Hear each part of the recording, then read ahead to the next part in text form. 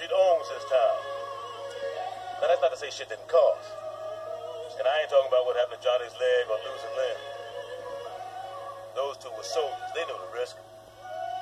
Hell, Johnny gets off on it. He crushed a lot of families playing. And some of them gonna holler at us. But believe me when I tell you, we did the right thing. With the Rollerz wiped out, Benjamin gone, and the Colombians in our pocket, there ain't gonna be a need for a that's gonna save a lot more lives than we took. So relax, man. You earned yourself a break. You've impressed the hell out of me, son. And I told the crew, you gonna be my right hand. Hold up. Some Barry just turned on his flashes.